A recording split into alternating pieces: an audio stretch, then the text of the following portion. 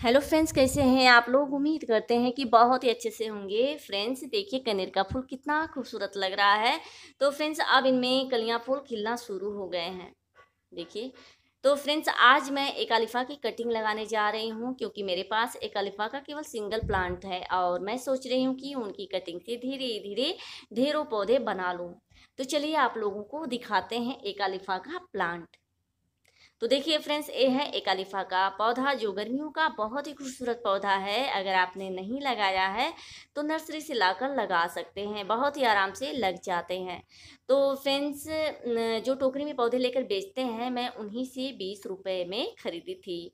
और अब तो एक साल होने को है, क्योंकि रेनी सीज़न में मैंने लिया था और अब रेनी सीज़न शुरू हो गया है। तो इनकी कटिंग रेनी सीज़न में लगाएँ या फिर विंटर सीज़न में, बहुत ही आराम से लग जाती है।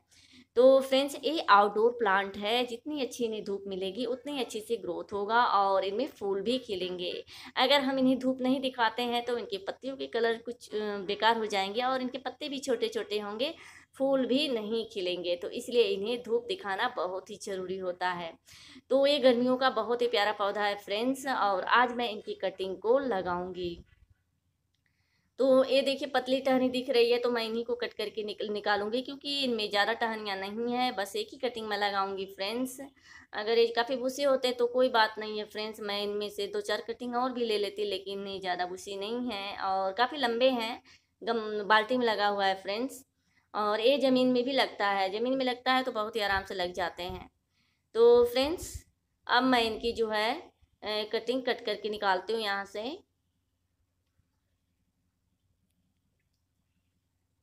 तो देखिए फ्रेंड्स, हमने जो है पतली टहनी को कट करके निकाल दिया है यहाँ से और काफ़ी स्ट्रॉन्ग है इनकी टहनियाँ जो है क्योंकि एक साल हो गए हैं।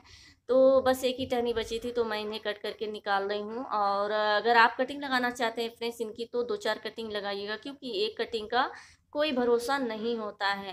फ़िलहाल मैं इन्हें बचाने की पूरी कोशिश करूँगी और जब ये अच्छी तरह से लग जाते हैं तो मैं आप लोगों को ज़रूर दिखाऊँगी, ये मेरा पक्का वादा है। तो फ्रेंड्स इन्हें लगाना बहुत ही आसान है और थोड़ा सा हम यहाँ से त्रिचा कट कर लेंगे। और ये है इनकी मिट्टी जो मैं पहले से बना कर रखी हुई हूँ तो इसमें जो है वर्मी कंपोस्ट है सैंड है मिट्टी है तो इन तीनों को मैंने मिला लिया है और इन्हें पानी भी डालकर इन्हें इनमें अच्छी खासी नमी भी बना दी है मैंने।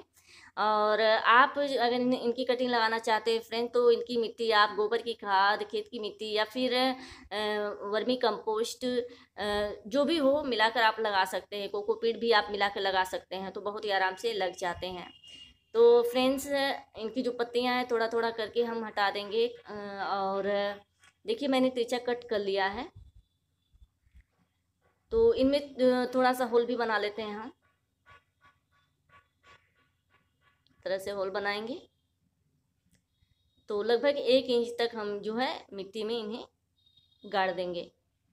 और बहुत ही आराम से इन्हें दबा देंगे, ताकि जो है हिले डुले ना, नहीं तो अगर ज़रा सा इन्हें जो है हवा ज़्यादा लग गई तो दिक्कत हो जाएगी, इसलिए जो है इन्हें बिल्कुल आराम से हम दबा देंगे मिट्टी को, ताकि इनकी जो रूट्स है बहुत ही आराम से बने।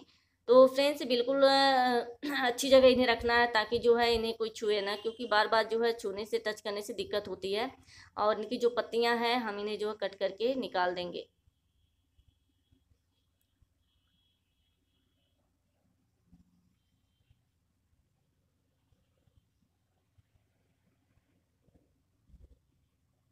इस तरह से कट करके निकालेंगे। तो फ्रेंड्स, इन्हें हम धूप में नहीं अभी रखेंगे, बिल्कुल सही एरिया में रखेंगे। जब ये लग जाते हैं, तब मैं निकाल कर आप लोगों को दिखाऊँगी। और आप लोग जब लगाना चाहते हैं इनकी कटिंग तो दो चार कटिंग लगाइएगा। और अगर आपके पास जैसे वर्मी कंपोस्ट नहीं है सेंड नहीं है तो आप गोबर की खाद मिट्टी मिलाकर लगा सकते हैं। कोकोपीट भी नहीं है तो बिल्कुल आराम कोकोपीट नहीं रहेगा, तब भी कोई बात नहीं, बिल्कुल आराम से लग जाएँगे। तो फ्रेंड्स, देखिए, मैंने इनकी कटिंग लगा दी और बिल्कुल शहरी एरिया में रखेंगे, धूप में नहीं रखेंगे। जब ये लग जाती हैं तो मैं आप लोगों को दिखाऊँगी। तो फ्रेंड्स, ये बाल्टी में लगा हुआ है।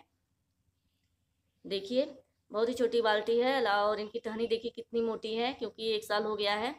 तो फ्रेंड्स, इसमें मरुआ का भी पौधा लगा है, बहुत ही अच्छी महक आ रही है इनकी और ये सीड से तैयार हुए हैं। और एक कोचिया का है। तो फ्रेंड्स, इन्हें हम बड़े से पोर्ट्स में लगा सकते हैं, ज़मीन में लगा सकते हैं, क्योंकि मैं इनका पौधा कोलकाता में ज़्यादा करके देखी हूँ और ज़मीन में लगे थे तो काफ़ी बड़े बड़े इनके पौधे थे और इनके पत्तियों के कलर भी अलग अलग थे।